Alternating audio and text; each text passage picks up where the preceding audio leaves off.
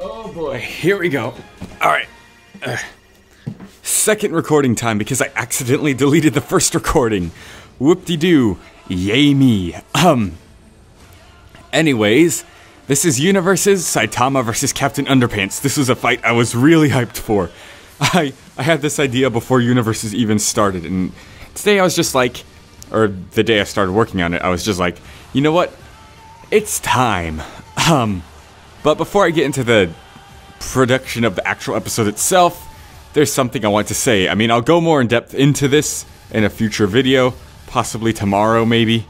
Um, but I will say that, um, remember when I first brought back Universes in late July, and now it's like mid-August, not that far away, you should remember still. Um, I said Universes would take a while, well, a lot longer to make this time than it did before, like, as long as Death Battle. Not longer than Death Battle, don't worry. I promise I'll never take longer than Death Battle for an episode to come out. Well, I don't promise, because, I know, who knows, things could happen, but I'll try. I'll try to make these not take as long as Death Battle, but if you remember, I said that, that, but I didn't really follow through with it, because episodes have been coming out week after week after week, like, bam, bam, bam. No problem. So, now is about the time where the slowdown is going to occur. Because things are getting on a smoother schedule around here. And while that would make you think that would make episodes easier to come out and make them come out faster, um, because there's a smoother schedule around here, I'll be able to work on other stuff more. Um, I want to do more stuff with my voice acting, because that's starting to go somewhere a little bit, not much, but a little bit. So hopefully I can keep growing that.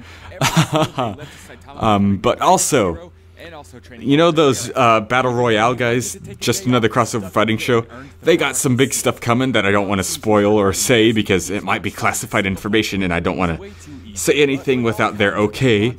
So all I'll say is that they've got big stuff coming and I'm going to be doing stuff for them uh, more. I'm going to focus more on them because they're super cool guys and they're my friends and they're my buds.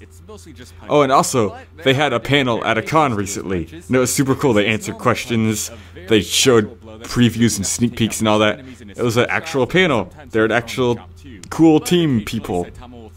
Like Screw Attack. I'm kidding. Um, so yeah, I'm gonna be doing a lot more with them, and I have a lot more ideas that I want to work on besides just universes. But it's still going to come out. I'm never just gonna flat out stop universes because um, I still love to do it very, very much. I just gotta chill out. Um, so yeah, there, the slowdown is going to start occurring now. I mean, the next episode is pretty much filler. It'll come out slow, then the one after that will come out slow, yada yada. But they'll still come out. So just be patient, and I hope you enjoy the future content that comes. Now it's time for Saitama versus Captain Underpants. uh, I am a huge fan of One Punch Man. I like the webcomic and manga and anime very much. The the only problem I have with, with it is that it's trying to parody the shonen anime stuff, but it ends up becoming a shonen anime by doing that. Um, so it's basically becoming what it's parodying, kind of ruining the joke, but it's still fun to watch. It's enjoyable, whether it's feeling more or less like a parody. And I like One Punch Man a lot. They have, they had an even record. They had one loss thanks to Boros, but one win thanks to Tatsumaki and now it's two losses thanks to Saitama. Poor, poor Saitama. And I'm actually surprised there's not a flame war in the comment section. Excuse me. I'm surprised there's not a flame war in the comment section because you know who lost. Well, I just said who lost, Saitama. Um, but it was, it's surprisingly tame in the comment section below. There's like 80 likes, over 80 likes, and less than 10 dislikes. It is incredibly positive for what I was thought for what I thought I was going to be. Um, so wowie wow. Oh, and another thing is Saitama's star level thing. I don't believe Saitama is star level. I know a guidebook says so, but One and Murata have nothing to do with that guidebook. They contributed interviews that happened during the time of the making of that guidebook, but they never confirmed anything in that guidebook to be true. It was verified by Viz Media, but not by One or Murata themselves. Also, it could easily be a mistranslation anyways, because Hoshi in Japan, the kanji, is the same for both star and planet. So Boros could have said he was going to destroy the planet and not a star, because Hoshi is the same for both of them. And since the kanji for surface wiping was also next to Hoshi, it's obviously meaning he was talking about wiping off the surface of the planet, not destroying a star. And it makes sense within the context because he was aiming at the planet. And why on earth would he destroy a star if he was trying to kill Saitama on planet Earth? So yeah, Boros and Saitama, they're definitely only planet level, no star level nonsense. Because Hoshi means star and planet, uh, there's a lot of inconsistencies. One has only ever confirmed them to be planet level, Saitama's only ever shown to be planet level, and Wano Murata never had anything to do with that guidebook. Hoshi means star and planet. In fact, Hoshi can even mean the specific names of a planet like Pluto, Mercury, Earth. So Hoshi means a lot of different things, which makes it more likely that it was a mistranslation to star.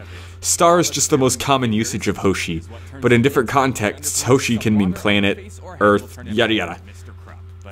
Um, but yeah.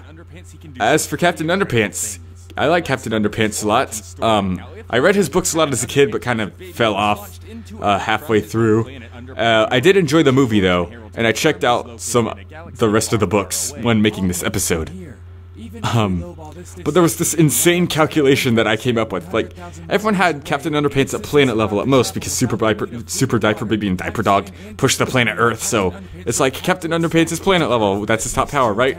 But no, I I discovered that Captain Underpants was flung from his home planet into Earth. That's gotta hurt. So I decided to do a calculation uh, to find out how how exactly tough he was for surviving that impact and it came out to around dwarf star level. I experimented with different weights and stuff because he was a newborn at the time, so the weight of a newborn is 4 kilograms. But then I realized he could talk, and babies don't start to talk until they're 18 months old, so I decided to do the weight of that, which was 11 kilograms. So measuring all these different distances and weights set a wide range of power. So I decided to stick it on the lower end because the lowest it went was large planet, and the highest it went was Bolt was solar system level, and that was a lowballed feat because I assumed he was right outside our galaxy. If I put him in a different galaxy, it might have been solar system, multi-solar system level, or galaxy level. So who knows how powerful that impact would have been. Um, whew, but yeah, so the low end was large planet and high end was solar system level. So I decided to stick it somewhere in the middle, but on the lower end. So I could have stuck it at star level, but I decided, nah, let's put it at dwarf star level just to give Saitama at least the power advantage because he has nothing otherwise. Um, so yeah, that was interesting. And also, as you heard earlier, Facts from Battle Royale just made a cameo here. I voiced him in case you couldn't tell. Um, so yeah, that was Captain Underpants versus Saitama. And next up we have Paul Phoenix from Tekken versus uh, Guile from Street Fighter. And it's a filler matchup because it's another Street Fighter Cross Tekken matchup. Whatever, I've done those before. They're nothing new, no big deal. Just side characters from the series fighting each other, and it's gonna be over before you know it. So it's just a filler episode. And the reason why is because the episode after that is super hype, and I wanted to take some extra time just to double check on my research for it. I mean, I already have the research done. I just wanted to double check on it to make sure everything was a-okay with it. So I want to take extra time because this is the next matchup after Paul Phoenix versus Guile is one I'm super duper hyped for. You'll like it. Um, I don't want to spoil anything. I don't want to spoil what it is, but I will say it involves time manipulators. The time manipulation is not what they're known for, so don't think it's like N. Tropy from Crash Bandicoot versus Clockwork from Danny Phantom or anything. So don't think it's anything like that. Um, they can manipulate time, but time manipulation is not their most iconic aspect. It's not the thing about them that makes them stand out. They just have the ability to do it. Um, but yeah, that matchup's going to be hype, so just bear through the slowdown of Paul versus Guile. That'll take a that'll take a while to come out, and then the episode after that will take a while to come out because the slowdown's happening. But lots of cool stuff's going to come in the future. Wow, I had lots of stuff to talk about this commentary. Huh. Um, but yeah, hope you enjoyed. Um, I'll go more in depth on why the slowdown is occurring later on, and what my deal is with the Battle Royale guys. Just another crossover fighting show, whatever. On a later date, in a different video, when the time is right. And see you guys later. Gotta turn it off, turn it off.